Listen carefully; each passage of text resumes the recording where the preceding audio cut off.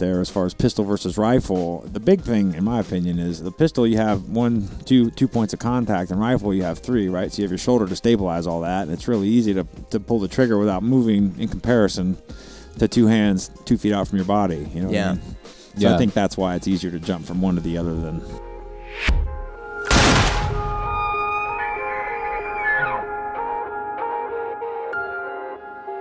What's up, everybody? We got a good one for you here today. I am not joined by Mark. That- I shouldn't say that because it sounds like the reason it's a good one is because I'm not joined by Mark. I, uh, we're not going to restart this, but I just want to point that out. It's not Okay. because Mark is gone. Don't feel bad for him though. He's in Alaska hunting bears right now, so that's pretty cool. Maybe we'll have some stories from him. Correlation does not mean causation. Thank you. When he gets back, you are hearing the voice of Reuben Aleckson across from me, though, and then also across from me at the end of the, end of the table next to Reuben is Tucker Schmidt, who is a new guest to the podcast. I'm sorry that you're missing out on Mark. that's okay. That's But, part of uh, the experience for sure. that that is. Um, but it's all right though because we're going to be talking about competition shooting. You know, Mark's always talking about just hunting and Just stuff, so he'd try and equate this back to hunting somehow. Yeah. But we're going to be talking about competition shooting. Great time to talk about it now, obviously, because I mean, if you're down south, you've been talking about competition shooting. You just get to talk about it year round. Up here, we're like just starting to come out of our our shells. Yeah, out of Um, hibernation. That's right. That's right. uh, but Tucker, we'll let you introduce yourself. Who are you? Where are you from? And what do you do uh, for our listeners out there? Uh, obviously, my name's Tucker. I uh, spent most of my life shooting some sort of competition sports. Uh, I live down in Florida, down in the southeast, and uh, I travel around quite a bit and get to shoot, enjoy the shooting sports. Nice. So that's why Reuben was saying you were a little worried about the temperature today. Yeah, it's cold up here. I know it's kind of weird for you guys because it's like a warm summer day. It is, yes. Yeah, but it's, it's about as cold as it gets where I live. That's so a sad. balding 50 degrees. um, well, so like we said, competition shooting, that's a big thing for you. Um, and uniquely, perhaps, I think there are many people who shoot multiple different types of, of uh, shooting competition, shooting sports. You do it at quite a high level across the board and uh, and you do many different disciplines so what types of competition shooting do you keep yourself busy with Uh, so like action, so action pistol is USPSA. That's basically run around, shoot targets fast with a pistol. Um, multi gun with like Reuben, three gun, that type of shooting. And then the PRS is kind of a new one for me. Over the last year or two, kind of got involved in that. That's bolt gun rifle, long distance. Yeah.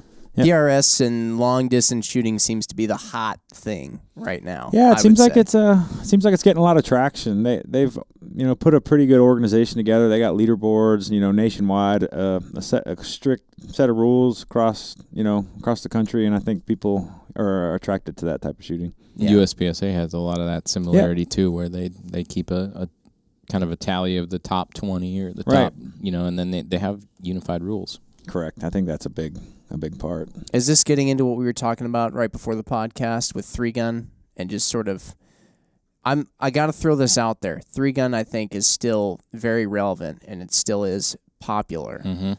But why does it seem like it got really hot there for a while, a few years back, and now I see a lot of people sort of just talking more. There just seems to be more buzz around other sports and not so much the three gun side of things, like PRS or NRL 22, stuff like that. Why- Why would There's, you say that? I think there's a Am couple right of different uh, Tucker. You'll have to like, you'll have to kind of gauge off of what I'm thinking, but like, I think there's a couple of ways and maybe reasons why that happened. But like, you know, some people say like, in in 2008 to 2016, a lot of people went out and bought ARs and they were just looking for something to do with it. I don't think that's as much the reason. I think a lot of be- people became kind of more knowledgeable to that sector of firearms ownership, but I don't think that's why because the people that were high level competitors in three gun um, that when it became very visible, it was part of um, this TV show called Three Gun Nation, and they had a very specific rule set. They went and televised matches, and there was a place where you could watch who was doing well in that sport. It's like,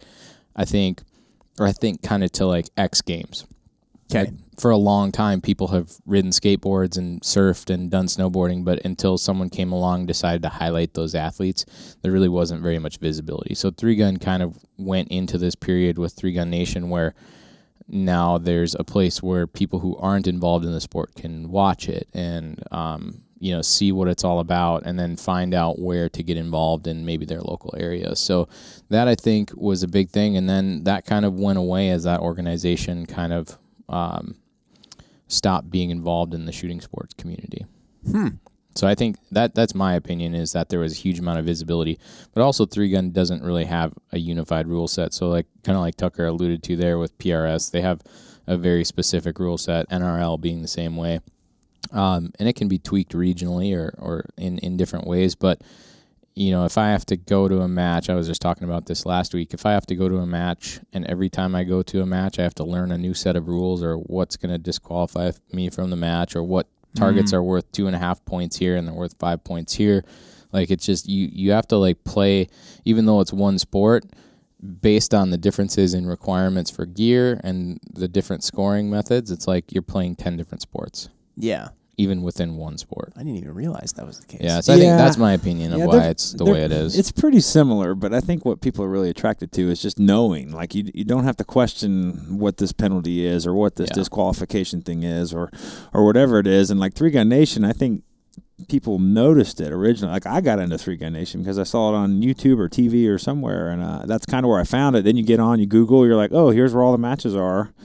I'm gonna go here and meet some people, and that's kind of how it kind of shook out. But uh, most people that don't know or aren't in the community as of yet, um, it's really hard to get information on it. Like you really don't know where to look. You can't just call your local club because they're like, I don't know. You know, you got to know somebody or some place that actually is involved in the game. And um, in those other formats, basically, you can Google and find matches uh, pretty easily. Okay. I mean, Yeah. you, can, you can search pistol shooting or action shooting or something along those lines, or even your local club. Most guys know, oh, there's a pistol match right over there. And uh, PRS is very similar to that. So I think an organization with some sort of marketing reach, and then, you know, where can where can Yeah. you go to do this? but that could be why that why it's kind of Yeah. fallen off of your radar. yeah, I think like it's still attending matches. Like we still all see all the same people at the matches, right? Want to see new people though. yeah, That's the we trick. do. Yeah, right. Yeah. So And that's that- that's probably why down. it's not as much on the the radar of someone who's not super involved in shooting the matches. Interesting. Yeah, I remember because we have uh, over at Vortex Edge, we'll get at our range during the wintertime, we'll have some indoor USPSA matches. And, and I Mhm. do recall having our instructors who were setting it all up, they're always referencing, you know, this rule book, how things are supposed to be set up. There's all this stuff around it. it you can just tell there's a very centralized governing body to it, which I don't know. I mean, Those it depends on the kind of person you are, because there is some there is some uniqueness to being able to be like, yeah, we can make it whatever we want. It can be really creative. It can be different. But also, then if everybody shows up and they're wondering what the heck's going on and why it's different from every other match they've attended, it can get that could be a bit confusing. I think that an organization or a particular sport will always have those outliers of those people who perform at a high level, but I don't think there will be an organized effort by people to try and make their way to the top in a certain type of sport unless there is that goal, right? Or unless Chase the there's that, that yeah, gamification. yeah, exactly. So I think yes, there will always be room in the shooting sports for the go to Dave's house on the third Saturday of the month and shoot steel, and we just kind of do whatever we want to do. But you won't get um, an industry or a following of that unless there is something that people who at a high level can aspire to be. Yeah. right. So Makes get- a That's lot of that's kind of my thoughts on it. At so the least. question is, how do how do you how do you get that going? Yeah. We'll leave that. What? Let's. You're the smart list- one, Rube. Yeah, Rube, you're pretty smart. Listeners, we're curious what you think. Rube, Um, I, I honestly have some ideas. Um, but you know, who knows, right? we'll we'll we'll let you wait until you make those public. right. Huh? Okay. Sure.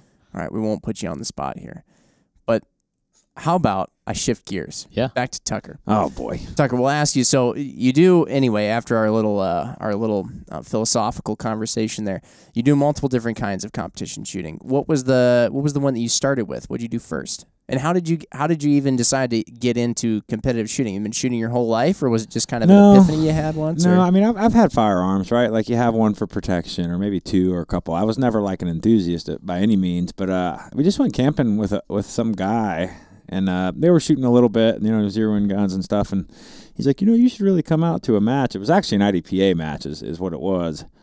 And uh, I went there, and a few people asked. Um, "Oh, are you like a IPSC shooter?" And of course, I didn't know what that was. And he says, "What did he say?" He's like, "Oh, it's it's it's similar to this, but you shoot a lot more rounds." And I was like, "Well."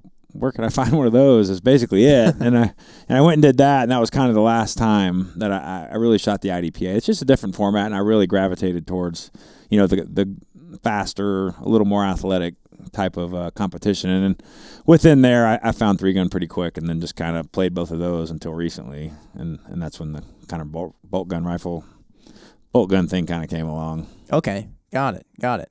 And uh, so doing different types of competition, I would say, I mean, what uh, what are your thoughts there around? I have to imagine it helps you all around the board, right? Like just the fact that you do multi-gun, you've done pistol, then you're now getting into bolt gun, long range precision stuff. I can't imagine that one hurts one of the others. No, every gun's going to have some sort of sight picture on it. It's going to have a trigger pull, and you know basic fundamentals, which I think carry over across all types of firearms. Um, so basically, you learn one. I mean, obviously, there's going to be a learning curve there, um, but I, I do believe that like every every gun you shoot, every time you pull the trigger, you're getting better at some type of fundamental. So you practice on those, and and they do transfer across pretty easily, I, I believe. Yeah. What uh, what do you feel like is if somebody's trying to get into competitive shooting? What's what's the one to start with that will well, be a good springboard into the other ones. I really think focusing on one gun is probably the easiest to start. Kind of get your feet wet, dip your toe in, as you will. Uh, start a pistol match. The, the the thing is, is there's you know roughly what 10, 15 million new gun owners over the last few years. Yeah. What they don't understand is like if you join one of these organizations, whether it's just USPSA, once a month, twice a year type of thing, you're really going to become proficient with your handgun.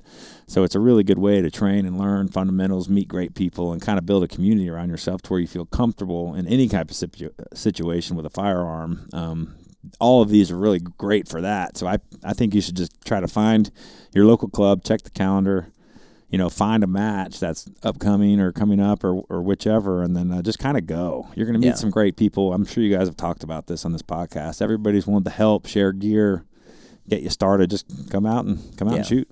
I do feel like there is something to the pistol thing, though. Yeah. I, I, I mean, it seems to me as though I have seen. Rube, you, you've been around even more shooters than I have. Tucker, you too. Let me know if you guys think that this is correct or wrong. Uh, I've seen a lot of people who can shoot precision rifle, maybe even some carbine. They struggle with the pistol. But I have yet to see many people who are really proficient with a pistol who don't very easily at least pick up really quickly the precision rifle or the carbine. Yeah. I'm thinking in like a guy like Nils, right? Like Yeah. Uh there's a guy that we shoot with quite a bit. His name's Nils Jonasson and he's one of the best pistol shooters in the country. Just won ch- national championship yesterday.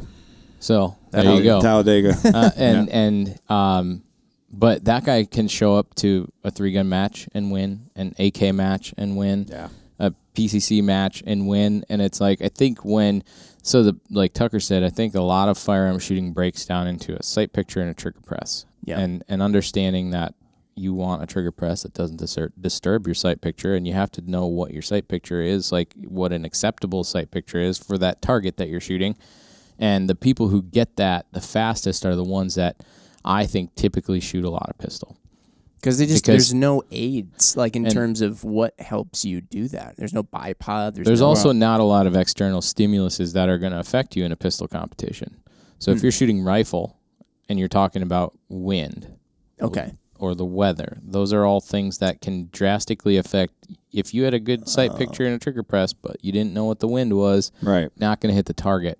Whereas there's a lot of uh, there's not really a, a way to get around you can't really fudge the numbers in a pistol shooting like scenario. It's it, it was yeah. what it was or it wasn't. If you missed, it was your fault. You can't say ah, yeah, or, yeah. It wasn't typically like oh I must have had a hot batch of primers. Like no, that didn't. That's not why you missed the eight inch steel at ten yards. Uh, sorry, but uh, and that's you know Adam Maxwell and and I get to work with a lot of um, our great customers down at the range or out in the field and when we're talking about shooting red dots on a pistol it's one of the easiest things is to be like, uh, when red dots got introduced into the pistol game, there are no hard pistol shots anymore. There are bad trigger presses. Bad trigger presses, yeah. Because I mean, Oh, when, when That's it, the only thing. yeah, because Like- basically the red dot is is a good training aid in a lot of situations. Because I mean, when you jerk the trigger, you will see the dot jump. Yeah. But Yeah. kind of getting back to your original comment there, as far as pistol versus rifle, the big thing, in my opinion, is the pistol you have one, two, two points of contact, and rifle you have three, right? So you have your shoulder to stabilize all that, and it's really easy to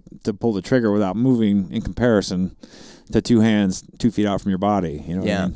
So I think that's why it's easier to jump from one to the other than than vice versa. I don't know how the, the right way to say it, but like the pistol demands the most fundamentals, Yeah, I think, That- to shoot it. at a high level. Yeah. Mm-hmm. And so I think that's where, like, for me, and I'm not by not by no means am I the example of you know shooting performance, but I have gotten to a, a level where I'm pretty proficient in a lot of different disciplines.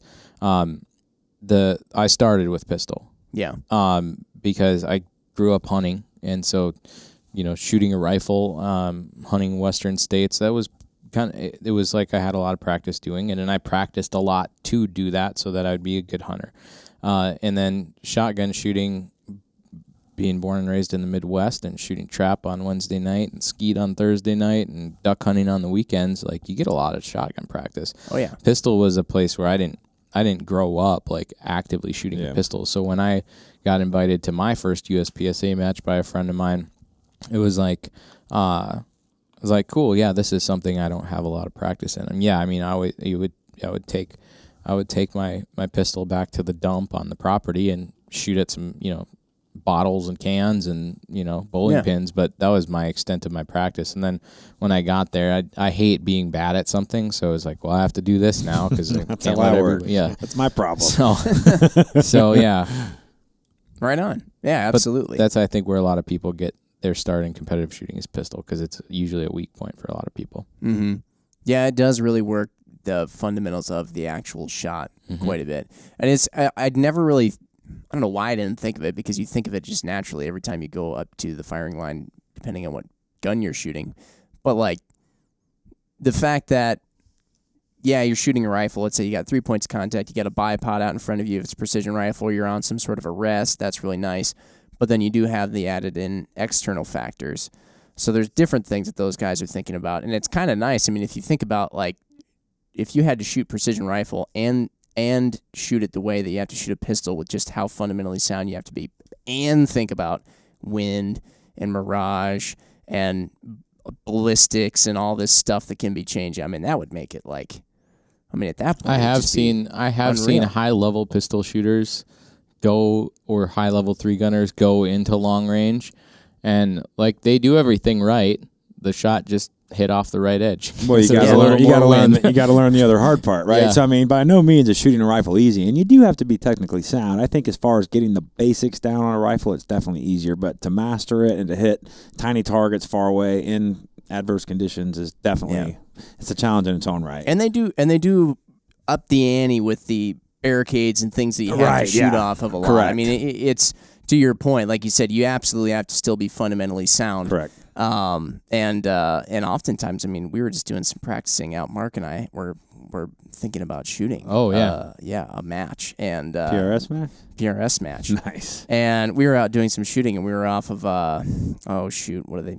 Just some various different barricades. Yeah, and props and Yeah, it's pretty- positional stuff. it it does it challenges you because it's when you're just different. shooting prone, like I said, you know, off a bipod or something, you're just ah, watch me ring that 300 still, watch me ring the 400. You, you can just kind of get out there and show off a little bit. But yeah when you do those little, add in those little change ups, you're like, I'm I'm uncomfortable. I can't figure Yeah. out what's going on. You start missing at, you know, 300 yards, which isn't a cakewalk, but it's it normally when you're just calm and shooting off a bench, you're just ringing Yeah, it over and over. It's pretty wild. Yeah, shooting a thousand yards off a fence post, you know, in the wind with one bag. I mean that. I mean it's a whole different thing than laying prone and shooting whatever it is you're shooting. You know what I mean? So there's a whole lot of difficulty, and, and they challenge you in different ways. Absolutely. So uh, definitely each has their own challenges, I guess. Yeah. even in e- you know, and from a thirty thousand foot view, if uh, if I said, "Hey, do you think shooting steel with a shotgun would be difficult?" You'd be like, "No, it's a shotgun and a steel." Right. Well, they're going to take a little no shoot like that and put it right in front of your target, and you have now you have a two inch little sliver of a target to hit at twenty yards with you know. and you have to do it fast. Then you have to do it fast, right? So, uh, this is not again not something to go off track, but speed and time Yeah. is always the factor Right. that. Can you do this? Yeah, I can do it. Can you okay, do it can you do it in an hour? can, can- you do it in a minute? You Yeah. can take pretty much anything and make it pretty tough. I mean, imagine right. trying to pour cereal in the morning, but they're shooting at you. Like it, it just gets hard. You might miss the bowl. Oh yeah.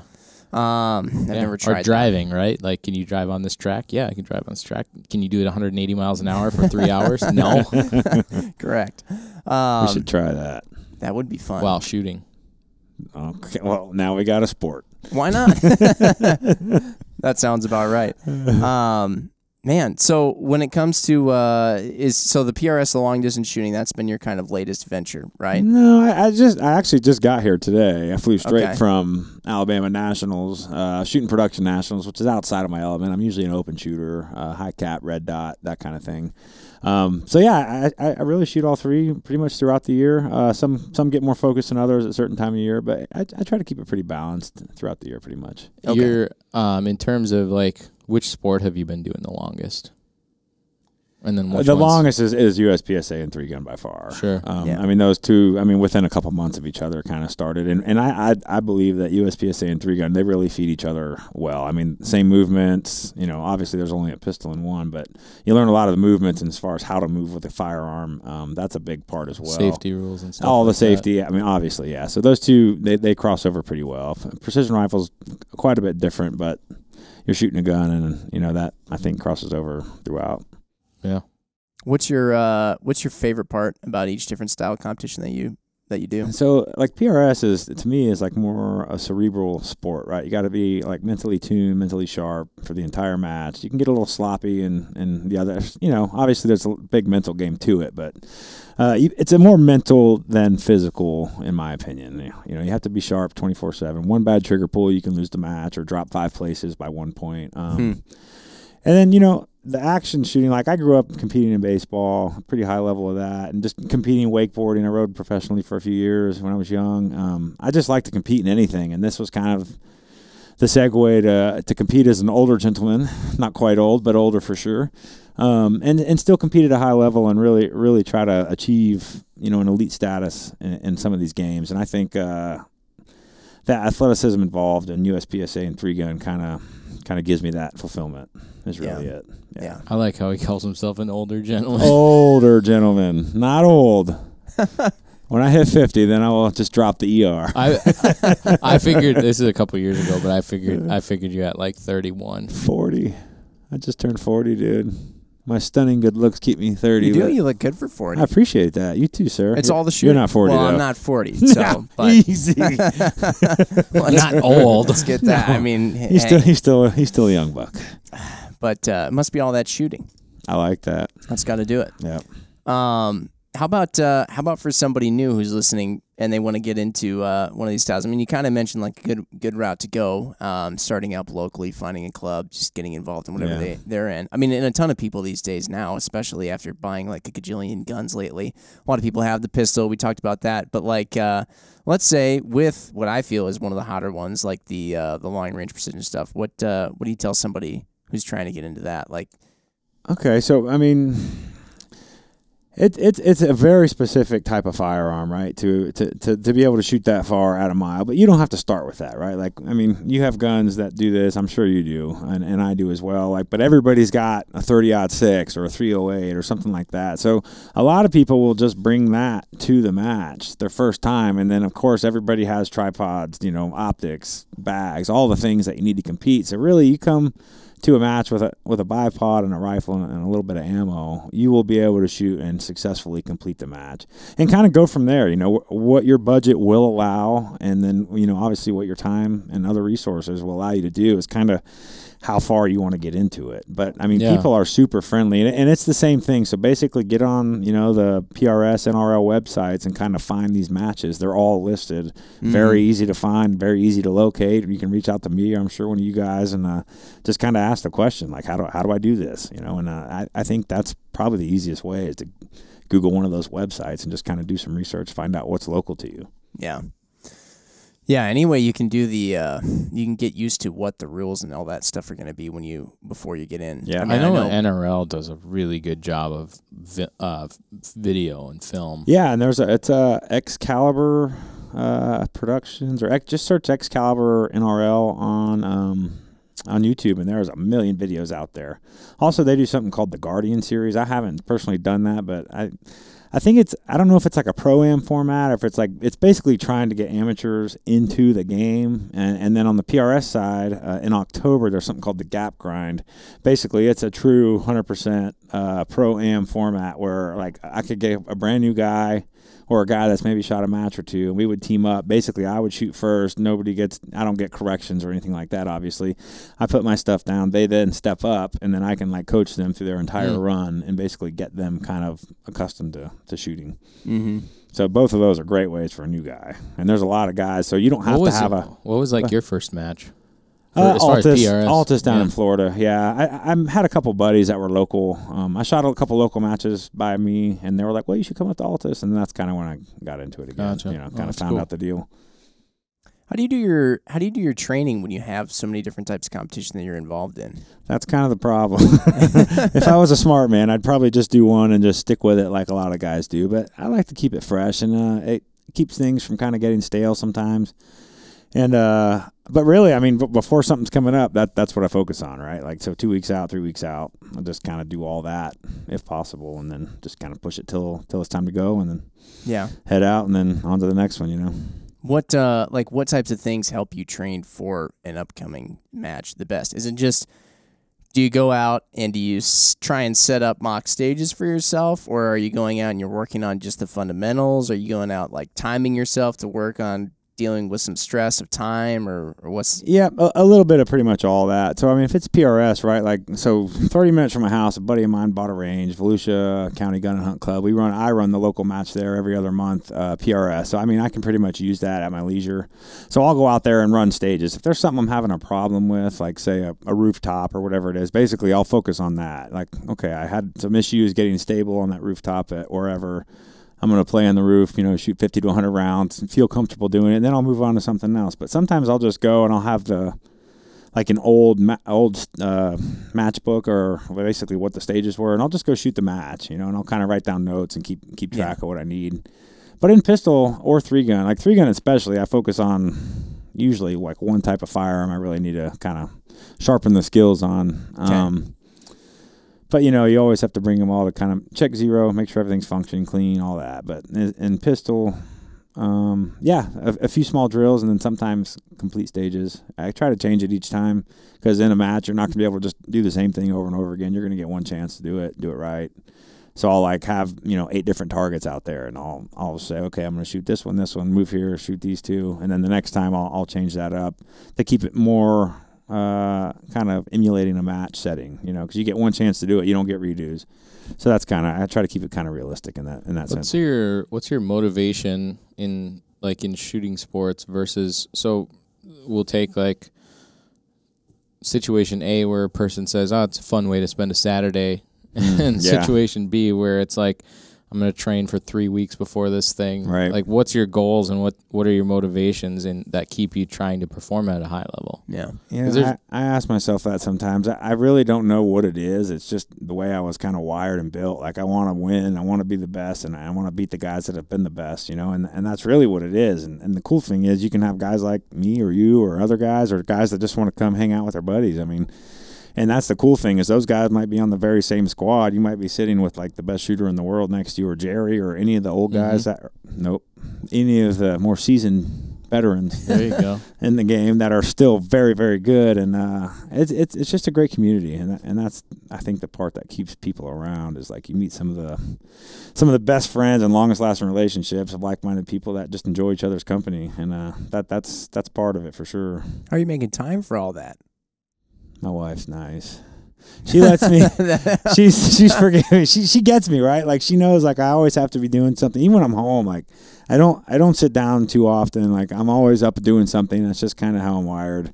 yeah. I just I just never been like the sit still and watch TV type. You get her So- into it at all? I've tried. She's just she doesn't love it. She'll come out and shoot with me. You know what I mean? Cool. But she's not into like the competition. Yeah. thing. Yeah, yeah. So I have a I have a interesting one here. So how long if you're so you're shooting at a high level in USPSA, right? Yeah. You're shooting at a GM, a GM, level. yeah. Okay, so that's pretty high. It's as high as you can go.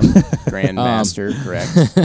yeah, Um, right. okay. Yeah, and then in three gun, same Yeah. same place. Like Yeah. you're you're in in the mix to win usually. in the mix. I, I want to be the guy that they're looking at like this guy's going to win. You know, like Horner or, or Nils or, or Yeah. guys like that, you know, and that, that's so- really the goal. So if you had to say like how long did it take you from when you started shooting USPSA to a GM level, or when you started shooting three gun to uh, winning a match level?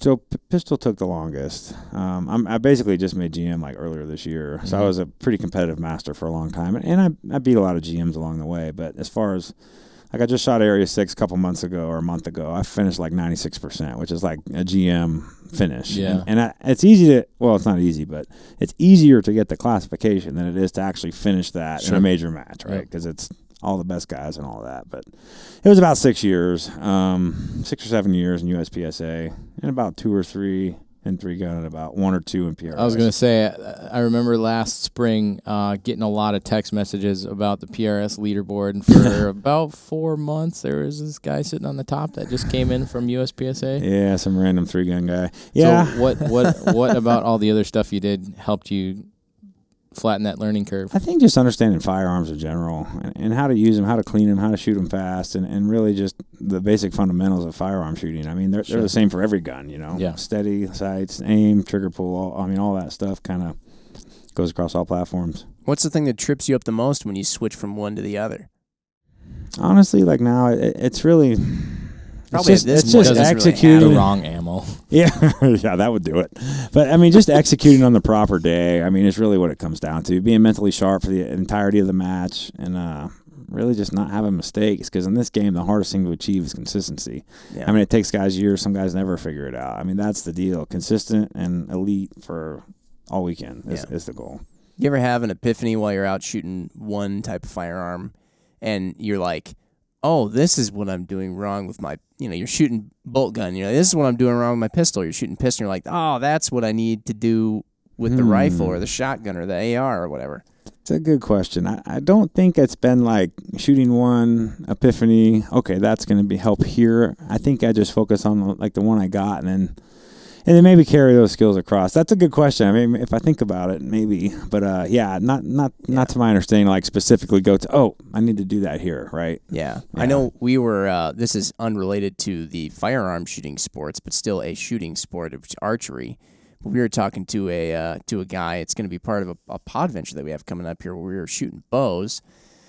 And he started getting into describing how to shoot a bow really well. And basically, everything he was saying, it, it was almost like if I would have closed my eyes, I would have thought I was in a pistol class Same down thing. here at Vortex Edge. Mm. It's the I mean, same because thing. it was just like make sure you've got you know your sights on, and it's all about releasing the arrow without influencing the bow, and I mean like all this stuff that he was going into. I'm like, it's word for word. Just substitute out the word bow for pistol, and Or it was trigger almost, or whatever, right? Yeah, exa- yeah, it's all the trigger, all same. that stuff. I think you can. I had a bit of an epiphany there, and then it was kind of it actually sort of helped in as I was trying to shoot a bow better, which Yeah. is interesting. Yeah, I think that's the same thing. I think sometimes like I use this one a lot, but I think sometimes simplicity can be offensive, right? Especially if you have a lot of a lot invested into learning something or a lot of money invested into certain guns, Yeah. and all of a sudden somebody like Jerry comes along and says, "Well, you just Just pull aim trigger. the gun and pull the trigger," and it's like, no, it's not that. What, what are you not telling me, Yeah, right? And then right. I, I've learned recently, and kind of, I've- I've been putting a lot of more effort into my shooting and and you know taking care of myself physically and all that stuff just to be a you know better dad, better athlete, better at work, and um, I think it is pretty simple.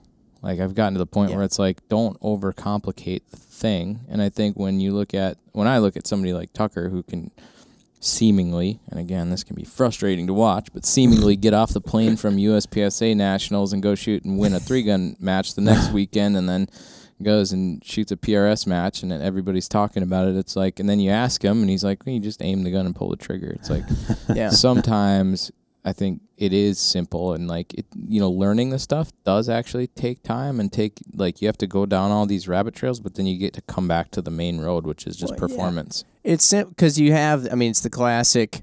uh, unconscious incompetence, conscious incompetence, Yeah. and then conscious competence, unconscious, Subconscious, competence, all that yep. stuff, right? I mean, when you're unconsciously incompetent, you're like, I don't get it. What's so hard about it? It's easy, Yeah. right? Yeah. And then yeah, like you said, you then go to now I'm consciously incompetent. You're like, wow, there's a lot to this. It's quite complicated. Then you start figuring those things out. And you're like, well, I know all these things are very complicated. I'm able to do it now, but I still can't do it fast or just intuitively. Yeah. And then all of a sudden it goes back to just, wow, like I got all that stuff down. It's subconscious, and now it's really simple again. Yeah, if anybody listening wants to read books and really go down rabbit trails on that stuff, uh, with winning in mind, uh, the talent code, those are a couple of books Yeah. that are just like Yeah. crazy, Yeah. crazy in depth. I feel like there's with people though, there's personalities. Tucker, you're probably one of these kinds of personalities where I think there's a lot of people who like being in the conscious part of like Mm. conscious, either conscious incompetence or competence. Control freaks. Yep. because they're always, you know, it's it's you even were describing it basically. I mean, you wanted to keep trying something new. Like you can't sit still. You're Yeah. always wanted to Yep. be challenged and and get into something.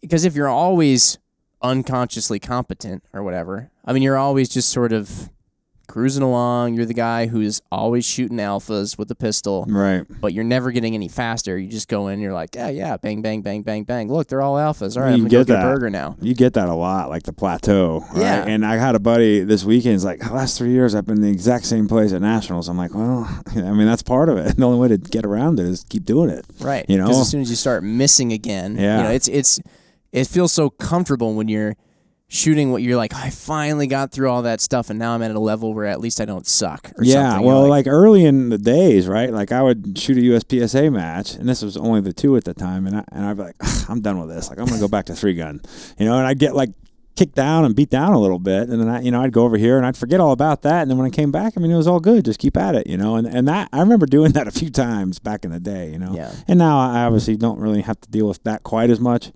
But uh, I remember I remember going through that quite a lot back then. It can be hard to do that too, especially when you're used to either winning or performing at a high level or doing something well, and then you go and do something that you suck at, Yeah. and it's a really hard pill to swallow. But like in in reality, your brain actually doesn't learn anything unless it's being challenged. Right. Yeah. Right. You don't actually That's get true. better unless you are at a point where you realize that you suck at it. yeah, Like in in different varying levels of skill, but like that's how you learn how to walk is by falling. That's how you learn how to run is by, you know, stumbling and tripping. Like yeah, that's how muscles grow is by exercising them and doing things and pushing them to a level where they can't perform anymore. yeah.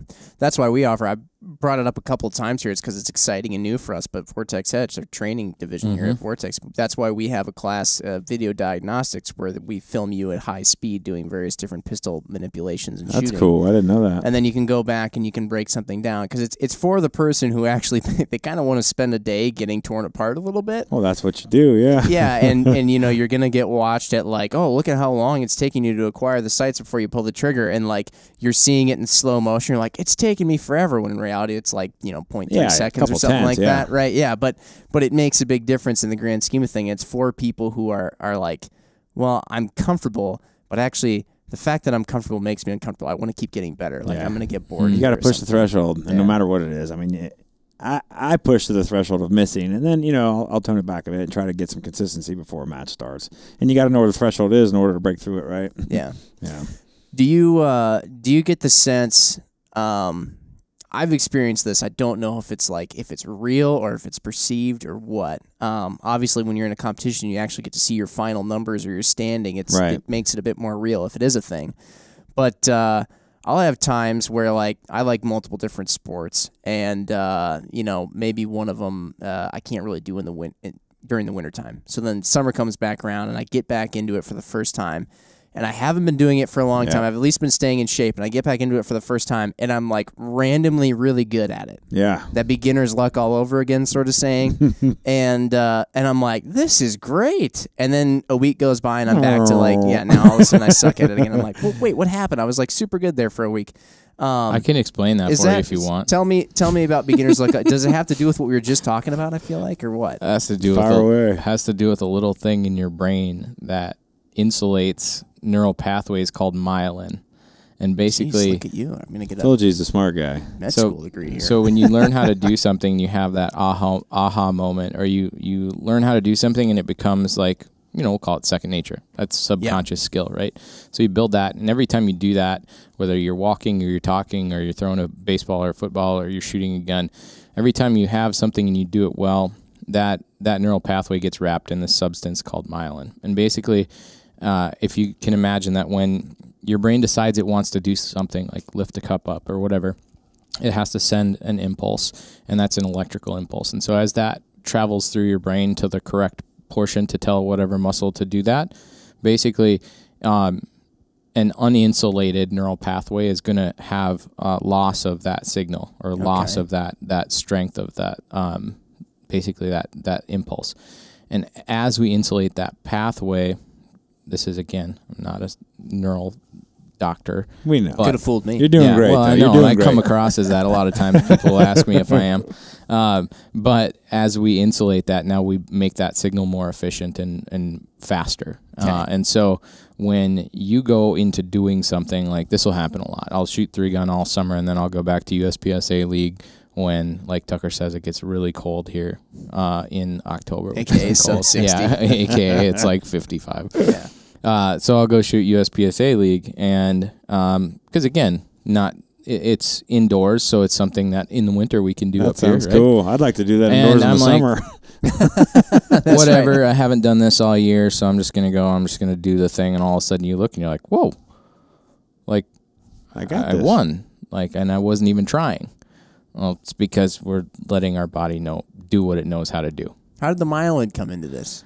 Well, myelin. Um, Can it go away though? Because I feel like if you if you've built up this really efficient uh, insulated neurostream or something, does it Funny does it you should ask. degrade over Uh, time? it can. Uh, typically, when you learn something, that myelin or myelination of that um, synapse or that pathway will last uh, years and years. Uh, it doesn't really start to degrade until you get into your 50s, usually, at which Oh. point um, a lot of things that are like uh, subconscious skill uh, that'll last for years and years. And then when you get into your 50s you have to start doing it more to maintain that. But um, there's a there's a ton of research going into how to grow myelin faster how to you know um, insulate neural pathways that What foods are they suggesting you eat? It always has to come down to the guarantee. Uh, there's actually not too much in that. Trust me. I would. I You've would. been looking, huh? I've been looking. I like. Hopefully, it's venison, elk Kale. tenderloin, There you and go. stuff like that. But I'm just probably guaranteeing it's and- not. Lima beans. Um, but no, there's uh there's a book that I'm reading right now that talks about that. So that's why it's Very fresh in my head. But Yeah. yeah, that's when you when you're not actually trying to do something. When you just rely on your um, subconscious skill, that's when it comes out. Well, Yeah. a lot of the guys, like you know, I know JJ spoke about it, and other guys. Uh, it's basically like when they're shooting, right? You program your brain the stage before, and when you're shooting it, it's like an unconscious effort at that point, right? Like Mhm. you, Yeah. pro- you program the data, and then you push enter and let it go. You know. Yeah. I know a lot of athletes will say though, like if they're ever reaching a plateau or they're reaching a point where they just feel like they're hitting their head against a ceiling as they're trying to improve, they'll actually just go and try to, and they'll just do something else Yeah. for a little while. Yeah, that's that's what I was kind of doing, right? Yeah, Kinda I mean, you the get to do mold, that Come all- back and do it again. Yeah, you get to do that kind of all the time if you're going in so many different shooting Yeah. disciplines. You get to be like, ah, PRS is pissing me off right now. I'm going to go shoot USPSA. and then all of a sudden you come back and you're like, you just get a fresh restart when you're able to right. come back. sometimes and this again goes back to something i'm not an expert on but i can translate that into physically what's happening um, watch we're gonna have somebody listening that's like a myelin specialist Like, oh, actually, but uh, um, so it's it's like you can you can stand in your driveway and shoot free throws or you know try and throw a curveball like Yeah. all afternoon and you just can't get it and then you come back the next day and it's there Yeah. it's because that takes a little bit of time to build that process in your head Yeah. It does. and I I've agree. found the same thing. I've found that like I can go and try and uh, stick a reload. Like you know, you set set your par time to whatever under a second. You know, 0.9, 0.8, whatever, and you can't get it, and you just practice and practice and practice, and you failed fifty times, hundred times, and you come back the next day and you get it the first time. Yeah. And that's that's like a lot of things in life. Is like it takes a lot of failure. Like you're not you're not learning how not to. You're not learning how to do something. You're learning how not to do it, and you're li- eliminating all that stuff, and then when you come back and try it again, all of a sudden it's there because now now you know what to do, you know what not to do, and so when you just do it, it's it's there. Yeah. Well, and failure helps too, but it also can screw you up at times because if you screw up, like I'm going in my head and I'm thinking about, I've gotten into boxing lately. Oh boy. When I say lately, I've actually been doing it for like two years, but lately I've been starting to do sparring, right? Mm. And you get in the ring, and it's like, of course, the first time you do any sort of sparring and you're actually fighting somebody else, you're like, oh my gosh, everything that I learned is now out the window. Like, it, just this guy's trying to punch me in the face. Yeah. Um, you know, you get punched in the face a lot when you first do it. Yeah. Regardless of who you are, you get punched in the face a lot.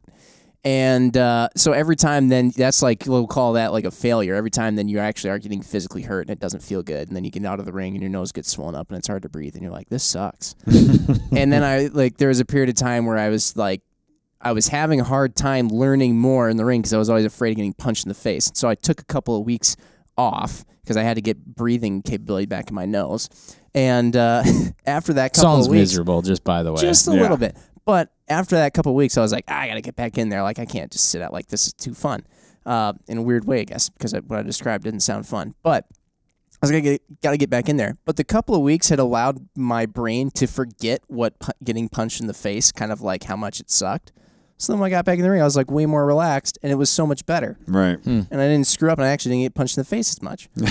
and so it's like sometimes too, you have to step away from screwing up all the time because if your brain is always like, every time I screw up, get back to shooting. Like, Everybody takes breaks. every That's time, normal. Yeah, every time I Yeah. screw up, like I don't hear somebody say impact. I see a big thud of dirt to the side of the target. You know, whatever. I'm just getting this like negative feeling. Every like whatever thing gets released in your brain every time something negative happens. You're like that happens every time. So then you just think of you get to the range and you're already just anticipating like missing or something. But if you mm-hmm. take some time off, then your brain kind of just forgets that. And then next time you go out to the range, you can just feel a little bit more free of that like Yeah, that weight. I, I think breaks are good from time to time. When you get frustrated, like you were saying, you miss 50 to 100 reloads at a time. You know, take a break, come back the next day, next week, whatever, and, and get back at it. And uh, like you said, you'll forget that and hope, Yeah. hopefully carry on. Yeah, and dry fire, you know, I I kind of follow Steve Anderson method of dry fire, and like that that whole thing is like setting your par timer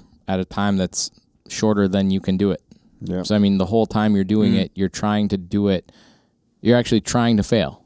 Like you're trying Yeah. to set the timer at a time that's faster or less time than it takes you to do that skill. Yep, I think that's good. I mean, you don't find the point where you're like, "Oh, this is easy. I can do this all day," and then I'm going to practice because that's that's what you're going to get better at. Then is the thing you're already good at. Right. Yeah. Uh, yeah.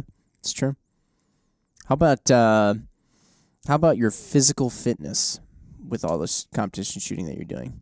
Do you get your workout in a given day? Let's say, you know, a lot of people are like, oh, I got to go to the gym, got to get a workout in. Do you get your workout in from doing shooting stuff, or do you also have to supplement it with hitting the gym? I used to go to the gym a lot. I've actually got some elbow stuff I need kind of fixed right now, so I can't do much lifting. I can still do cardio stuff, but honestly, I just haven't. So basically, what I'm getting, uh, like physical fitness, fitness wise, is uh, basically on the range, on the range or working and stuff like that. But uh, yeah, so no gym for me. So It's- it keeps you in shape. I mean, Yeah. obviously you got to eat healthy and kind of watch what you put in your mouth in the kitchen. But other than that, I mean, it, it's a good form of exercise. It is. What do you think is the uh, what's your favorite? Uh, or not favorite, but like, what do you feel like gets the best workout in? I think probably three gun. Uh, USPSA and three gun are very similar, but three gun stages are a lot longer, and, and, and the reset every single time is a whole lot longer. So every Yeah. time the, the shooter finishes, you got to go out there and reset the Get your target. steps in. Right, that's right, right. And sometimes you're you know climbing up rocks, up and down hills, and and, and that sort. Of, so it is a form of exercise. I mean, if you want to be an extreme athlete, I don't recommend this is the only thing you do, but uh, it, it Sure. will keep you in some sort of shape for sure. Sure. Yeah. Bet you wakeboarding, professional wakeboarding, that probably kept That was in shape. that was a long time ago. Yeah, I was I was in really good shape then. How's that for a workout? Yeah, yeah. I went. Uh, I went out with a buddy, my buddy Adam, over in uh, Orlando a couple weeks ago. Oh, actually, it was probably a few months ago now. I was sore for like a week, and I went out like for 15 minutes. I used to go out for like 15 minutes, like six, seven times a day, and just no problem. Yeah, getting old takes a toll on you. Not as spunky as we once were. Older. Older. Not- Older. That's right. Remember that. That's Yeah. right. Yeah. Forgot that for a sec. Yep. Rube, you do a lot of Yeah. different kinds of shooting too. Mm-hmm. Which ones do you do? Um, well, probably too many. Uh, but like recreationally, just uh, I guess I'm not trying to be competitive at uh, shooting trap or skeet uh, or like uh, some you know like rimfire stuff. I'm not super concerned about that about the, where I finish in that. Um, competitively, actual like really like putting effort into it would be uh, USPSA three gun. Uh, and then variants of that. So single gun disciplines, Oh yeah, yeah. like PCC, or uh, I shoot uh, usually two to three AK style carbine matches a I year. heard you may have a few pistols coming yeah, for yeah. USPSA. Yes, sir. Yeah. A few. You can Um, only shoot one at a time, Well, right? at least one. But you have to have a no. backup. yeah. So so definitely. Um, Especially if you're Eric. yeah, right. Forgets Forgets all it, the time. Yeah. uh, no, I guess, and, and then like you know when we had the Vortex Extreme, I got into that stuff and got the rifles set up for that, and then. Um, you know, really, really recreationally, we'll go and, and play in the PRS side of things locally. Um, not as much the last couple of years, but previous to that, I did quite a bit. Um, yeah, and then just uh, Steel Challenge. What are you gonna try and get Tucker into next? What's your next thing? You know, a buddy of mine, actually, uh, Jason Spradling from Federal, we were rooming together at this last house, and he's like, "Well, if you got a shotgun, bring it out because there's a cool sporting clay course." So I, I traded something I had for a you know a shotgun. It was obviously the wrong kind of shotgun, but we went out and shot, and he he, he beat me for a few days. So I may play with that just a little bit. But Sporting I, clays is a lot of fun. Uh, so I think I'm gonna. I was just looking on the airplane and right over here. Uh, a few sporting clays guns. I'm, I'm probably gonna get a 32 inch gun for shooting some sporting clays and just recreational, like he was. So saying. that's- I'm not gonna get crazy into it. Of course, I've said that before. I was about to say that who seems to be what it takes to get you into something is you get beat in it and you're like, yeah. So I'm not I'm not gonna like toot my horn this, but like I'll go and shoot trap and skeet, and I'll shoot 23s and 24s yeah, Midwest all guys day. can shoot shotguns. all day That's a I don't thing. know what that uh, out of 25. I'm a Midwest guy. Okay. Got and it. but but a lot of people can do that. That's Okay. not necessarily super special. It's getting to your 23rd, 24th clay, and not missing that last one because you're like, I'm going to shoot a perfect game. This is au- this is this is awesome. So I think I haven't been willing to invest the uh, mental fortitude and training to get to that level where I really put in the time. Yeah. Um, sporting clays, skeet, trap are all, um, you know, not necessarily really expensive sports to get into. And I mean, if you go and on a Saturday you shoot, you know, eight boxes or six rounds or whatever, you're Yeah, you're only going to spend 50 60 bucks on ammo. Not like shooting a three gun match where you're going to spend 400 500 dollars on ammo at a big match on a weekend. Yeah. uh, but but definitely um, i've gone and shot and over like my whole life have shot the shotgun sports. I just haven't it doesn't have the physical aspect. Now it has Yeah, a really different. strong mental like requirement. So if i had to like give you a peek into what i'm thinking about i'm saving those for when physically i'm not able to run When and you're shot. o- when you're I was old. saving those ones i can i'm like i can do that when i'm older yeah. Mm, got it. but You're gonna try the uh you're gonna try Rube, I know you've tried it, right? The NRL twenty two kind of thing? Or the ri- precision rim fire? I've done it here. Um, we're an NRL club here. Uh, Seth and Kellen run a awesome match. Uh, Yeah. I I've done it and it's a lot of fun. Um, it hasn't got my adrenaline going yet. Really? Yeah, Not we've- yet. How We've about you, Tucker? We've got uh, a couple guys that are local to my range, my, my long range area range. Um, they, they've started it. They have NRL 22 there, and I just can't. I just cannot do another one. So I, they're there, and I'm there, and, I, and and we'll shoot off the same props. But I mean, that's so at least at this place, they're really geared to getting people kind of into the center fire stuff or kids. You know, it's Okay. great for kids, and it's great for adults too. Some people love it. Like they're like, man, I haven't had this much fun at a match ever. It's like, well, great Yeah. you know, come back, bring some buddies. But uh, for me too, I think I think it's more. I'm, I'm just interested in maybe the bigger rifles for now. But you Yeah. never I also um, we with the dealer training that we get to do. Um, you know, about fifty to sixty groups a year of long range training. So I get to be on the range a lot doing long range. So I kind of tend to stay away from that when I'm And you get to be on ranges that have long distances. Yes. I know I'm get I like I was excited to hear about it when it first came out because we've got a little bit of land where we have like 80 yards that's perfect for shooting on, but Mhm. no more than that. And so it's like, well, I just set up really tiny targets and shoot this thing. yeah. I know everybody. Every, what were you gonna say? I was just saying, like that's what 22s are great for, Yeah. right? So ranges that are limited to 100 yards, this is a perfect option for them to get introduced into that world. You know, maybe they can only practice and shoot there, like locally, but then when you go out of town, okay, like this is what we're doing. I've got an understanding for kind of how this works. Yeah. I have an immense amount of respect for people who can do that stuff with a rimfire. I'm just not there yet. You were saying earlier, like before, you were never really like a gun enthusiast so much. like, You got into the sports because you like the sport. Is that still the case, or or are you starting to like?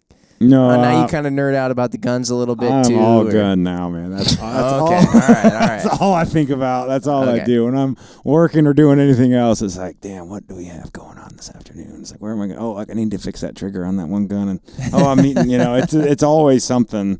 And uh, you know, my dad really wasn't into guns, and uh, so I lived with him for a little while. Then moved in with my mom later on. But uh, he, he he was not down with guns. But as soon as I turned 18, like I went and got a pump shotgun, and I went and Very went, similar story to. I, yeah, I went, can relate. Went and shot some, you know, some, I think it was five stand at the time, and I just went by myself, and I did that for years. And I had like a, a Glock 17 for like home defense, personal defense kind of thing. You and didn't that's buy all your, I had. you didn't buy really- your shotgun in a parking lot, did you? Yeah. Oh, No, I'm kidding. I'm kidding. I wouldn't have Yeah. judged. I think it was Yeah. a pawn A shop of- or a gun store A or lot of people buy guns in parking Yeah. lots. Yeah. That's true. Uh, but uh, I was wondering because when we were talking about the NRL 22 thing, I know like a lot of the gun enthusiasts around the office here Yeah. got bit by that bug pretty hard because Oh they my were like, "Well, it's just a new gun I can build." It was I, I, like they Yeah. want to shoot it and they enjoy shooting it, but I, I I actually think a lot of people around here get involved in new sports because of the gun that it allows them fancy Oh, yeah. gun. to build. well, I mean, buy. we're we have the FFL office here, right? And then like the number of CZ 457s and Ruger Yeah, American precision rimfires and all that stuff that came in for like the the last year was like What is all this? Oh, look at all these things. Yeah. I myself got bit by a working? Volquartsen, and so I actually built the gun to do the sport that I haven't really played with yet. Well, at least you have a gun when you're ready. Um, I on the gun side side of things, like probably my most, and this is nothing, nothing to say negatively about my dissident shotgun or you know my Seekins rifle or anything like that, but like I, my real interesting guns are not competition guns. Like they're yeah. yeah, you know what I mean? Like Oh, I my get what you're competition getting at. guns have to perform and they have to go bang every time I pull the trigger. They're all beat up. and so scratched up. sometimes when they're new in the box, it's like, wow, that's fancy. Yeah. But like after I get used, they get used and abused.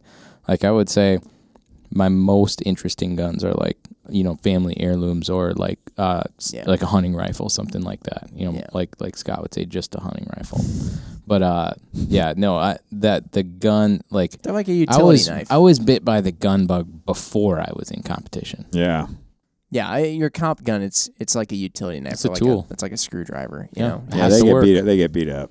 They Yeah. get beat up, scuffed up. Yeah. I mean, they're chewed up. The bottoms of the mag wells are just like just a mess under there. I mean, you beat them up pretty bad if you use them a lot, and that's Yeah. I think that's the case with anything. When Any I get a of tool, I love nothing more than just like the first time it gets beat up. Just thrashed. I don't really enjoy that on a seven thousand dollar open gun, but No, that's you fair. That's a accept good it. point. You accept it nonetheless. That's a good point. yeah. No, yeah, I'm more talking about like a twenty dollars screwdriver. But no, that's um, okay. Yeah. Yeah, there is something satisfying though. I- Even on things that are nice, I will say sometimes if I get like the first, as long as it's not a major, Yeah. first scuff, yeah, kind of like, Little personality. Well, I It mean, happened. it goes down. It boils down to again, not to oversimplify this, but it boils down to kind of a desire to be, to like legitimize yourself at something, and right. And if like you're the one that all your tools sit in your drawers and you never use them, like, are you a poser? Maybe, right? And as soon as you start using your stuff, like I look at the, I look at the dude, like when I walk up to a match and and I don't know anybody on a stage, and let's just say we get there early and I'm walking a stage while people are shooting Yeah. and I'm like looking at whose magwell has the most scratches in it. Is like that's the guy I'm gonna watch shoot. Yeah. Like, yeah. honestly- that's a good idea. Like that's probably the guy to watch out for. Is the one whose Yeah. magwell's the a bunch most of beat people up. are going into their gun room right now with their like Yeah. metal, their metal mag that they found on the ground somewhere, just jamming it in the yeah, mag well. exactly. Uh, that's funny. but I mean, it all boils down to to the work you put in, right? And like if if we only learn things when we fail, like if that's if that's what causes us to learn, Yeah, and we don't fail very much, we're probably not going to be very good at something. yeah. I'll toss this one your guys' way while we're on the topic of guns. Uh, somebody out there getting their first gun. Uh, maybe it's not even the first gun, but they, they, they might even have a gun or two or something like that. But they want to get a gun that they can do pretty much as many things as possible with. Um, which uh, what do you guys recommend they go for? You mean like for a competition setting, or Yeah, like they want to be able to go out and shoot competition with it, go to the range, enjoy it, maybe use it for home defense, like that kind of thing. Like it's just the most multifaceted. Is it like the pistol, the shotgun, the carbine? I feel like it's probably not for that specific s- tense the precision rifle, but maybe it is. no, that's a pretty specific item. But you can shoot deer with it, so it's also True. good for that. But I mean, as far as defense range use, you can actually shoot. I mean, I used to go to the range and unload my Glock 17 with my defense bullets and throw it in my bag, and then get on the range, put in my match bullets, and I just shoot it on the. ma- So I think a pistol in that regard, just a full mm-hmm. size, full frame gun, would be a, a pretty good place to start. yeah. I don't have a specific answer. I'm. I mean, like not to just carbon Talk copy what about neuroscience again. Uh, yeah, we'll go into that here at the end of the answer. But uh, I'm going to quote uh, a friend of mine, Adam Maxwell, who says the most expensive gun is the one that you never shoot. So True. if we break it down, somebody looks at a seven thousand dollar open gun and they're like, "Wow, that's expensive," and I could probably be like, "Yeah, but it, it's like through the life of the gun, it's only like a half a cent a shot." That's right. You less know, than that. versus one, yeah, right, a lot Yeah. less than that. Yeah. But like versus one that um, you buy and you you say, oh, I'm I'm gonna use this all the time, and then you you never use it because it's so specific for one certain thing. Like Yeah. honestly, like I practice with my carry gun a lot, but like still, my carry gun is not the most Low- shot gun low in my round bag, right? count. Yeah. And so for the price per shot, my carry gun's probably the most expensive gun I own. Same. Yeah. that is one heck of a way of looking at it. Yeah.